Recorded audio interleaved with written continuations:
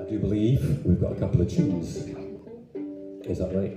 Yes, that is right, uh, ill man. Um, we have uh, we have Miss Lyall, which is a Scottish strathspey, and we have uh, a Texas um, uh, rag, which uh, should be interesting. We'll try and keep it steady.